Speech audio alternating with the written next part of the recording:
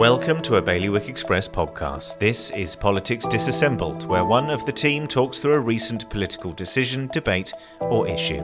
Thank you for joining us. My name is Matthew Leach, and this week's podcast will explore GP11, what it is, and why some deputies want it scrapped.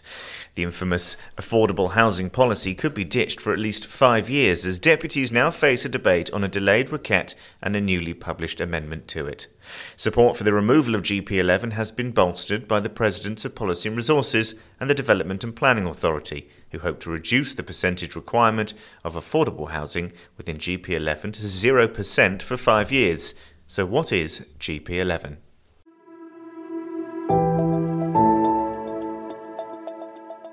Deputy John Dyke continues to lead a requête against GP11. The signatories of the requête believe their proposal will speed up the delivery of private housing, which they say is being held back by the affordable housing policy that sits in the island development plan.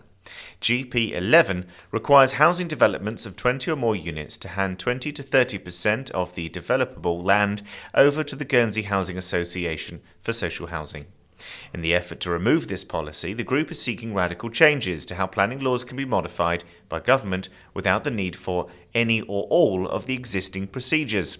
They want the states to agree that political measures to improve the island's housing situation should be prioritised above everything else, and are hopeful that the desired changes could be implemented at pace.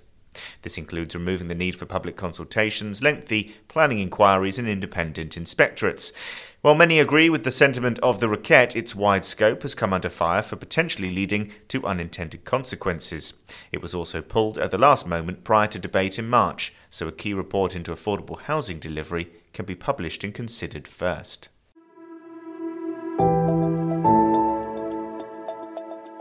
Amid the debate around GP11 and the requête, P&R sought comment from several committees about it and has published a letter of comment in conjunction with an amendment to the requête.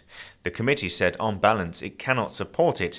Nevertheless, it does agree that there is a concern that GP11 is obstructive to this Assembly's prime objective of facilitating housing supply.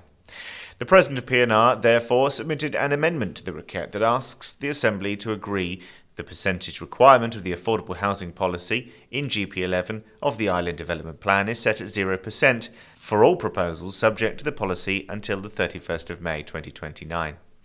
Deputies Trott and the DPA's Victoria Oliver argue that their amendment will speed up the move to ditch GP11 and reduce the impact of the original requête. They said Effectively, by supporting the amendment, the states are recognising the unique set of circumstances that means the contribution requirements of the policy should not be applied for the next five years and are directing the DPA, when GP11 is engaged, to not require any affordable housing contribution as currently required under that policy. The requête and its amendment will be debated on the 24th of April during the next states debate.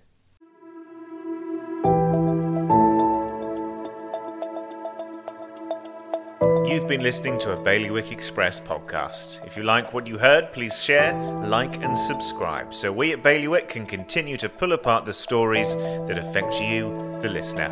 Thank you for joining us.